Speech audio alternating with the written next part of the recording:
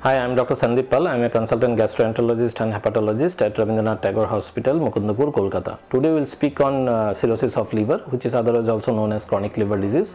So, uh, in common term, if you want to understand cirrhosis of liver, it is the structural destruction of the liver, so the normal function of the liver is hampered. So, what are the causes of liver disease? The causes, common causes of liver disease are alcohol-related liver disease, non-alcoholic related liver disease, that is the fatty liver disease associated with diabetes and obesity then hepatitis B is an important cause of liver disease, chronic liver disease, hepatitis C. Then there are other uncommon causes of liver disease like autoimmune liver disease, hemochromatosis. In kids there is biliary atresia and there are some metabolic causes of liver disease which are rare but we do often see those causes of liver disease also. Now what are the manifestations of liver disease? Usually the manifestations of liver disease is patient may develop jaundice, patient might have abdominal distension, pedal edema that is leg swelling, someone might have blood vomiting or black stools, may become unconscious very frequently. So these are the common uh, manifestations of liver disease.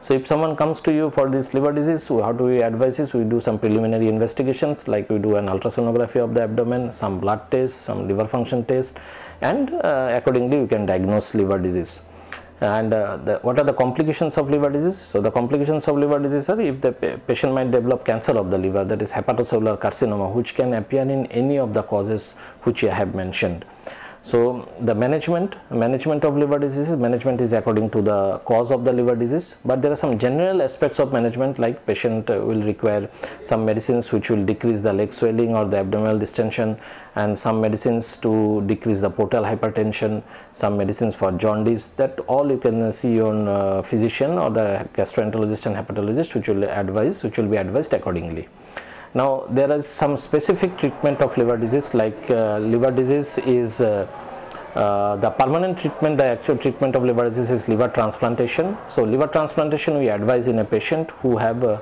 life threatening complications of liver disease. Like if someone has got a, a refractory ascites that means uh, abdominal distension which is not responding to usual medicines blood vomiting or recurrent hepatic encephalopathy then that we advise liver transplantation and liver transplantation at present we are performing in uh, Rabindranath Tagore Hospital. So that's in a nutshell our management of chronic liver disease.